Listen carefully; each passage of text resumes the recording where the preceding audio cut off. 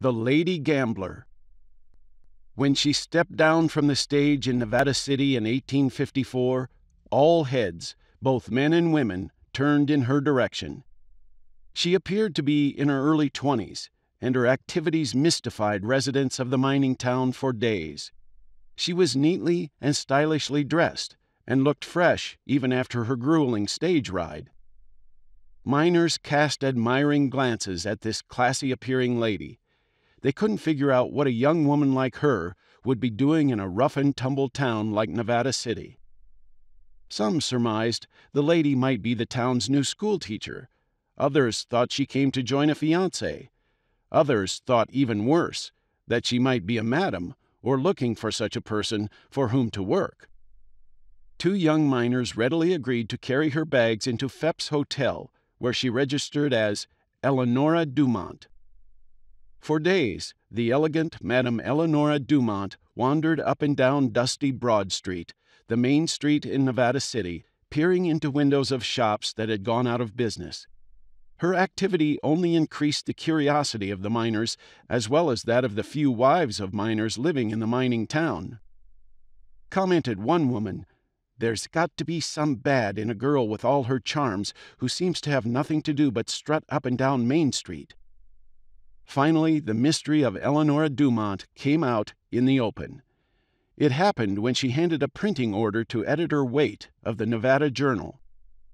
I want this handbill printed and distributed to every man in this town to let them know I am opening the best gambling emporium in Northern California, she told the editor. Soon after, the charming Eleonora opened Vingt-et-un, French for 21, it was a finely furnished and carpeted gambling saloon for only well behaved and well groomed men. Madame Dumont served champagne instead of whiskey, and she dealt the cards herself. It didn't take her miner clientele long to observe that Miss Dumont knew her gambling profession well. The smitten miners lost their hard earned gold pokes earned from their day in the mines to the deft fingered Miss Dumont. She seldom lost her deals or her demure smile as she collected the miners' gold. They seemed to think it a privilege just to be in her presence. Unsatisfied with her club's limited gaming, Eleonora expanded her casino to include faro and chuck-a-luck. She hired more dealers and added a small band of violinists to entertain the gamblers.